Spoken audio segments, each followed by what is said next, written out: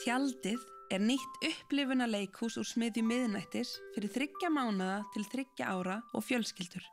Í tjaldinu eru börnin þáttakendur síningarinnar og fá að upplifa, prófa og snerta.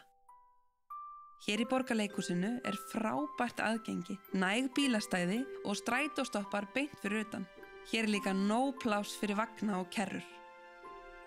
Við sínum bæðum helgar og virkamorna og því tilvalið að nýta fæðingarorlofið til að leggja leið sína í leikhúsið. Í síningunni notum við fá orð, ták með tali og lifandi tónlist. Hún hendar því vel börnum með mismunandi bakgrunn. Eftir síningar er kaffihúsið opið í forsalnum og hægt að gæða sér á kaffi og með því leifa börnunum að leika og kynnast leikhúsinu og eiga notalega stund saman. Sjáumst í tjaldinu.